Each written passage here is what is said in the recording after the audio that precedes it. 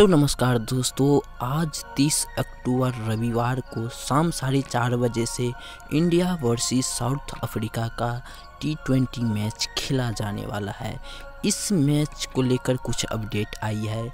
कप्तान Rohit Sharma press conference में आए थे और उन्होंने प्लेइंग एलेवन के बारे में कुछ कुछ जानकारियाँ दी है। तो अगर आप भी जानकारी जानना चाहते हैं तो वीडियो को लास्ट तक ज़रूर देखें और इसी तरह की और वीडियोस देखने के लिए चैनल को ज़रूर सब्सक्राइब करें और आप भी चाहते हैं इंडिया वर्ल्ड कप जीते तो वीडियो को लाइक, शेयर ज़रूर करें। तो चलिए दोस्तों, वीडियो स्टार्ट करते हैं।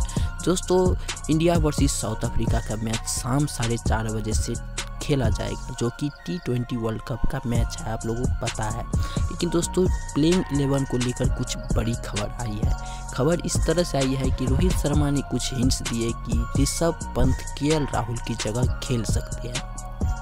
दोस्तों प्लेइंग एलेवन सब कुछ जैसा था वैसा ही रहेगा। सिर्फ़ एक चेंज देखने को मिल सकती है, वो है दोस्तों के राहुल की जगह ऋषभ पंत। और दूसरी चेंज की संभावना बताई जाए तो वो है रविचंद्रन अश्विन की जगह युजुवेंद्र चहल। दोस्तों, आपको क्या लगता है, बदलाव करना चाहिए या नहीं करना चाहिए कमेंट में ज़रूर बताइए।